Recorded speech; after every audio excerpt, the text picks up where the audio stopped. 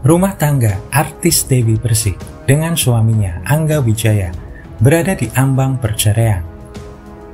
Angga Wijaya telah menggugat penyanyi dangdut yang akrab disapa DP tersebut. Keluarga di Jember pun menyerahkan semua keputusan kepada Dewi Persik.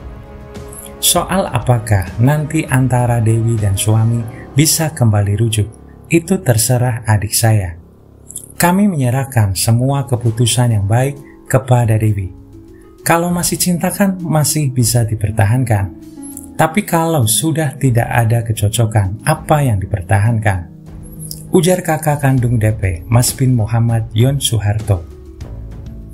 Ketika dihubungi Detik Jatim pada hari Rabu 22 Juni 2022, Mas bin mengatakan pihak keluarga sebenarnya sudah tahu tentang terjadinya ketidakcocokan antara Dewi Persik dengan suaminya Angga Wijaya.